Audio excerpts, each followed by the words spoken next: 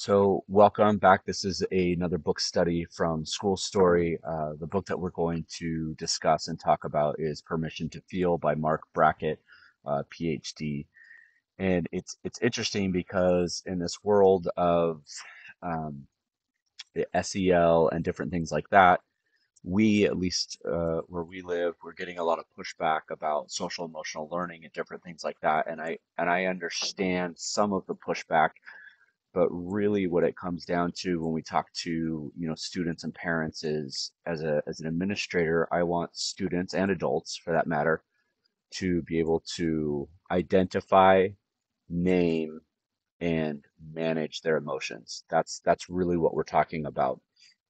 And when i say manage sometimes going through those emotions uh, maybe sometimes expressing them in different ways uh, maybe talking with somebody else about that uh, identifying them. You know, is it anger? Is it frustration? Is it um, are you hungry? Right? Or that there's different things that that go along with that. Anyway, um, uh, I, I absolutely love this book, and I'm a Gen Xer, and so I grew up uh, with baby boomer parents, and the idea of sharing emotions specifically in our home was was very very um, looked down upon. It was just kind of grin and bear it and just and just manage things anyway, so and and he talks about that. Marc Brackett talks about that in in kind of his opening thing where he talks about, um, you know, uh, having adults in your life that that didn't listen, and he talks about his his uncle Marvin who did listen and helped him open up about his feelings. And I think one of our roles as administrators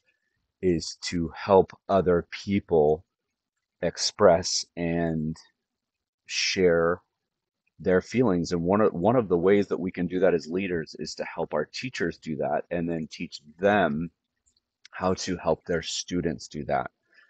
Um, not some sort of scripted you know um, formatted way but in a real caring loving way um, that we can do that. So you know, he he goes on and talks about his own experience, and then he he talks a lot about how emotions are information. Anytime that we are feeling emotions, both in good and bad ways, that should be information about ourselves. It should be, um, or we should use that information about ourselves, whether that's our memory, how we're learning, the decisions that we're making, the relationships that we have. We know through numerous studies and other books, which we'll talk about later, how our emotions affect our health, both in the moment and long term health wise, as far as um, you know, heart and different things like that. And so the challenge that he kind of gives the, the reader is to become an emotion scientist where you are looking at your emotions on why and how and you know coming up with hypotheses and kind of experimenting with your emotions. And then you can start to identify things in others, right? And so, this idea of becoming an emotion scientist is if I'm in a bad mood or I'm feeling an angry and emo- an angry emotion, I generally will be more critical or judgmental of others. This is just a small example. Whereas if I'm in a happy mood, I may let some things that I would normally be frustrated with go. And you can see that in your own life as an administrator or a leader in your building or assistant principal, whatever, but also in the teachers that you work with. Sometimes teachers have more patience when they are in a better mood. And that's just a natural thing, right? As a parent, I see that all the time too, right? Anyway, so uh, he goes on to talking about recognizing emotion, how you measure those. Um, when you know it's there's this funny moment right when uh, we ask somebody hey how are you doing and and the the the the kicker with that though is when we ask somebody how they're doing most times we don't really want them to go in and open up to us that's more of just a, a courtesy thing and he talks about what if we what if we actually cared what if we actually listened to our teachers when we said, Hey, how are you doing? They said, You know, I'm not doing very well. Well, tell me what's going on. Whether that's in a one on one, whether that's in, that's a whole nother thing, but whether it's in a one on one, whether it's, you know, passing them in the hallway and you have a couple minutes to take a moment, with with them, uh, with that with the students in in the building. Um, when you start to create, he talks about this emotional capital with others. Um, you start to develop where they're more willing and open to share their emotions and as as people share their emotions more they start to recognize them and they can start to navigate their emotions um, a little bit a little bit better right?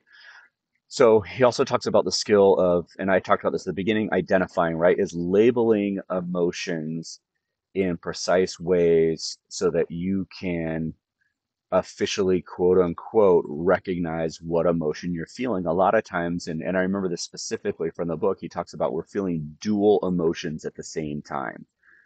Well i'm tired but you know i'm excited to be here. Well how could you be tired and excited? And and really what that comes from is our inability as human beings to recognize the emotion that we're actually feeling.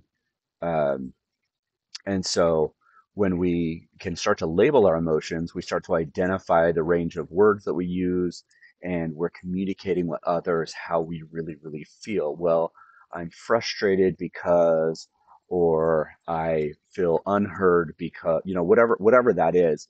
Um, he talks about that, right? So anyway, uh, this all kind of leads into this um, this this problem as society as we hide our emotions, we actually work harder to not let people know how we really feel. So we're building this kind of cocoon around our emotions.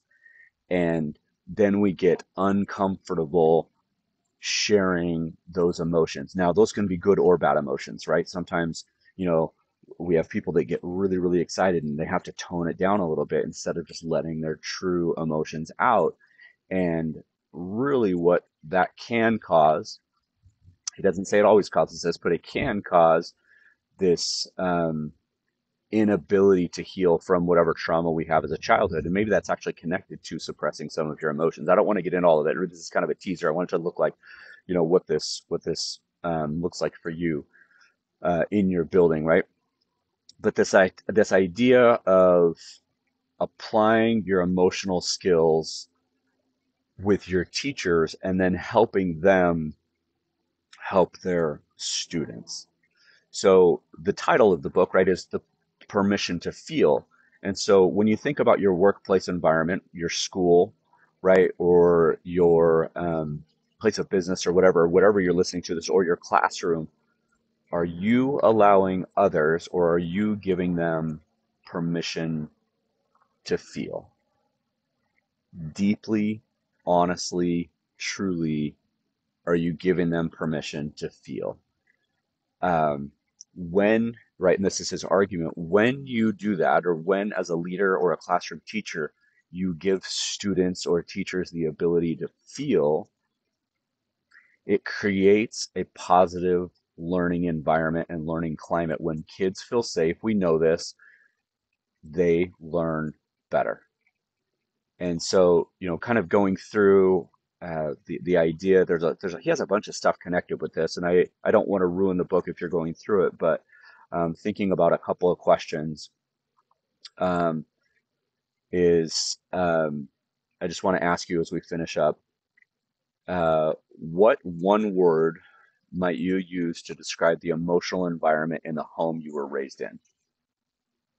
And then why. So that's one question, right? Is to think about your own history uh, and the emotion that the home that you grew up in and how important that is in creating who you are as a person.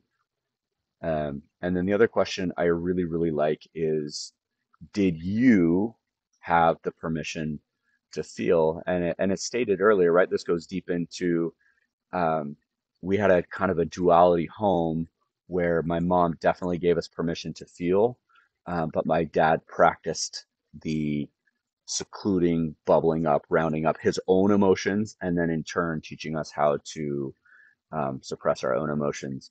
And I can actually see a little bit of both of them in in myself uh, as as a leader, but also as a father and as a husband, and how that um, influences where where I am today. Right. Anyway, thank you for watching. Uh, you can find more on School Story on all of the social medias. We love you. We appreciate you. And I'm glad that you're here.